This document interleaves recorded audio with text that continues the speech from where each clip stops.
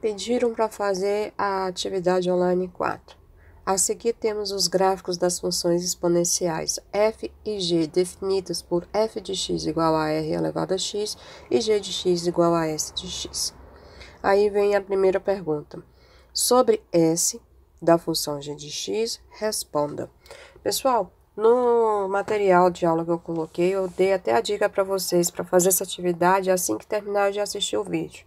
Se você não assiste o vídeo e não entende o vídeo, vai ter dificuldade nessa atividade, porque eu coloquei justamente baseado na aula, tá certo? Então tem que assistir a aula com atenção, fazer as anotações e depois fazer a atividade. E não é só assistir, se você não anota no caderno como se estivesse na aula presencial, não consegue acompanhar.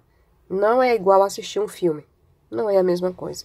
Então você tem que parar, pausar o vídeo e anotar, tá certo? Por isso que eu falei, faça assim que terminar de ver o vídeo.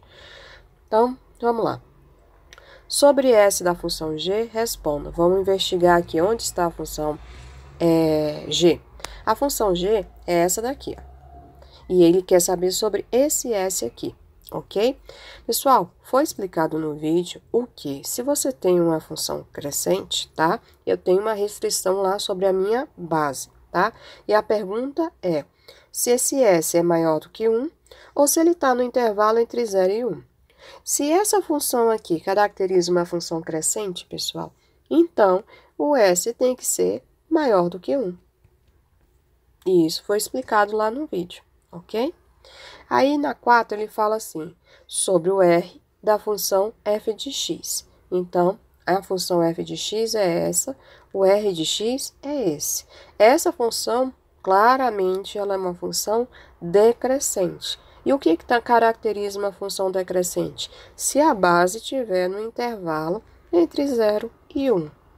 Somente isso, ok? Aí ele continua aqui. Sobre o gráfico f de x. Então, voltando. Sobre o gráfico da f de x. Esse gráfico, pessoal, é crescente ou decrescente? Decrescente. Então, só marcar. Ok? Próximo. Sobre o gráfico da g de x. Então, o gráfico da g de x, ela vai ser um gráfico de uma função crescente, ok? E aqui vem o seguinte, para você analisar os pontos, isso também foi citado lá no, na, na aula de, na videoaula. Sobre o gráfico f de x, temos que f de 7 é o que do f de 3? Você não precisa, pessoal, é, anotar e procurar aqui aonde está o f de 3 e onde está o f de 7 certinho é só uma noção, tá? Então, vou ampliar aqui, ó, só para você ter uma ideia do que está acontecendo. O F de 3, ele tá bem aqui, ó. O F de 7 vai ficar muito pequeno, ó. O F de 7 é esse ponto aqui. Vou puxar para cá. O que que o F de 3 é do F de 7? Maior ou menor? Ele é maior. Então, o f de 3 é maior. Só que ele está perguntando o contrário, né? O que, que o f de 7 é do f de 3? Ele é menor. Ok? Sobre o gráfico da g de x. Temos que g de 5 é o que do g de 4? G de 5. Olha só. Vou tirar esse 2 aqui, porque g de 5 está lá em cima. Eu vou só para ter a noção da reta, que foi assim que eu expliquei para vocês, tá? Ele colocou uma relação aqui. Eu vou colocar aqui que aqui é o 4 e aqui é o 5, só para vocês terem uma noção, tá? Graficamente. O que que o f de 4, que é esse daqui, é do f de 5? O f de 4 é menor do que o f de 5, f de 5 é maior do que o f de 4. No caso da função g, né? Então, aqui é G, pessoal. Só ajustando aqui, então. A gente está falando da função G. Então, G de 5, G de 4. Então, G de 5 é maior do que G de 4. Então, tá aqui, ó. Maior. Ok? E o que que caracteriza isso, pessoal? O que que caracteriza essa função crescente ou decrescente? A posição do sinal, tá certo? Foi isso que eu expliquei. Ou seja, Se o 5 é maior do que 4, então, na função crescente, g de 5 também tem que ser maior do que g de 4. E isso foi explicado lá no vídeo. Já na função decrescente, o que, que a gente tem? Que o 7, o número 7 lá na reta real, é maior do que o 3, sem dúvida alguma. E o que, que tem que acontecer então com a função f de 7 em relação ao f de 3? Se essa função ela é decrescente, pessoal, ela tem que ser menor, inverte o sinal. Isso foi falado lá no vídeo para vocês. Traçando os gráficos f e g no mesmo plano cartesiano, em que para ordenado haverá a interseção? No 0 e no 1 um, ou no 1 um no 0? Ou não haverá interseção? Claro que há interseção e é no 0 e no 1. Um. Foi frisado isso no vídeo, tá? Essas funções aqui, gente, voltando no gráfico, são funções simples. Então, o ponto de interseção vai ser no 0 e no 1. Todos esses gráficos, assim, que não tem soma nem subtração, vai tocar no 0 e no 1. E isso também foi explicado para vocês lá no vídeo, tá?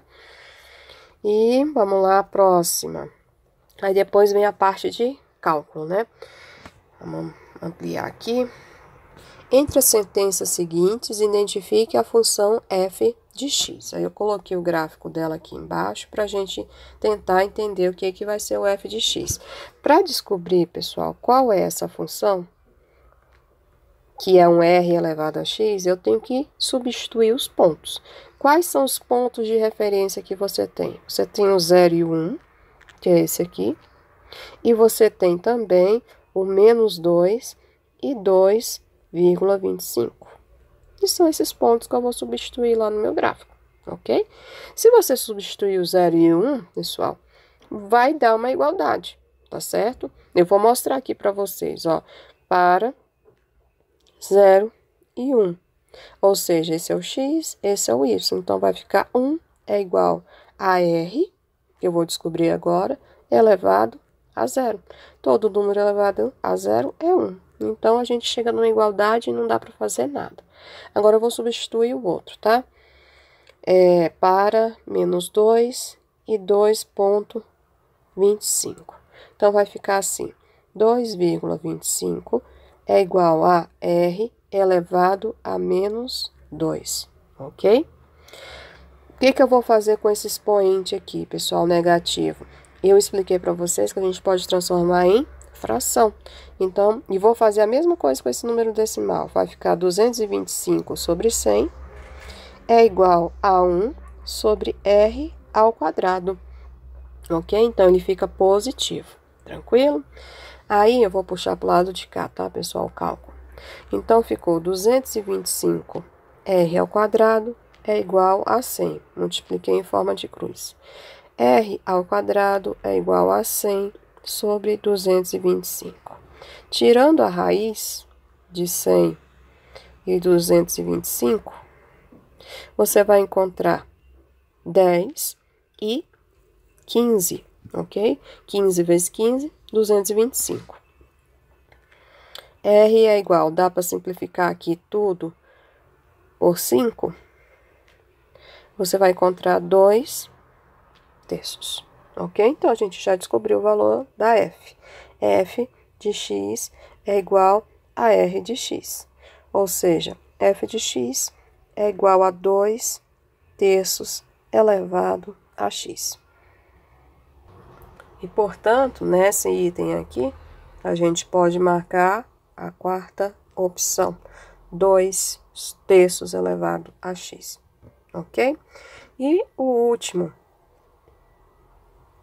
o último, que é esse daqui, ó.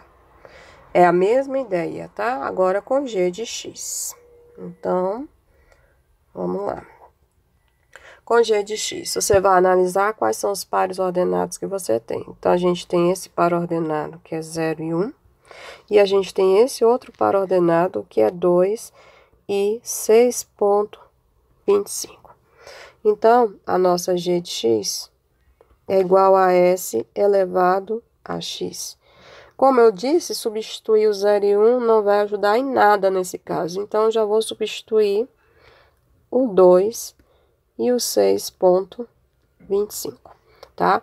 Então, ficou 6,25 é igual a S elevado a 2, ok? Então, ficou. Se eu tenho que tirar esse quadrado daí, ele vai virar a raiz. Raiz de 625, tá?